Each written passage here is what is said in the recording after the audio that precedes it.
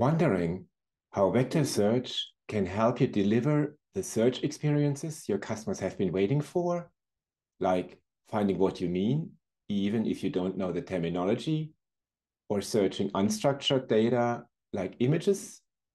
This video explains limitations of traditional keyword-based search and how semantic search that's enabled by vector search overcomes them.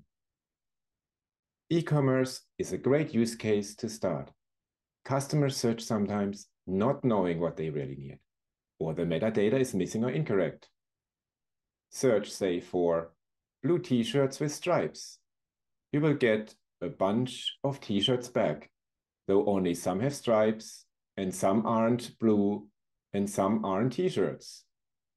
This demo e-commerce sites employs traditional search, which relies on matching keywords.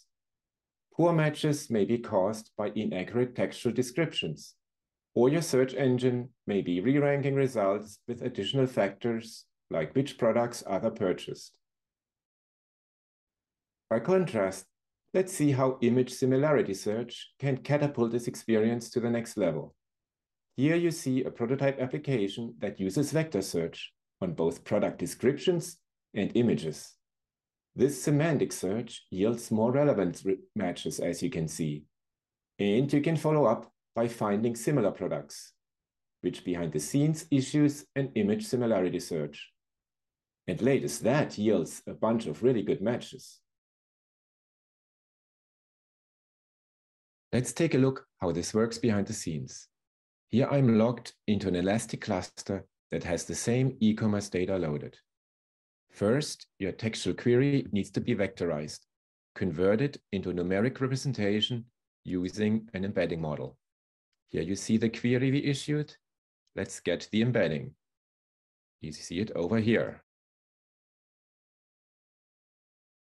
Next, you need to take that embedding and issue a KNN query. Here is the embedding, and that's gonna find nearest neighbors relative to your query. Now we can take the first result returned and pull up the corresponding image in your database. And if you remember, this is exactly the same that we pulled up in the interactive applications just a minute ago. With vector search, users can find what they mean and search not only text, but also other unstructured data, like product images, Semantic search enables innovative applications, like finding similar cases among many legal documents or suggesting similar designs to a graphic designer from a database of existing time, eh, designs, to mention two cases that existing Elastic customers are working on. To learn more, click on one of the links below or sign up for one of our hands-on workshops for vector search or machine learning. I hope you've learned something in this video. Thank you for your attention.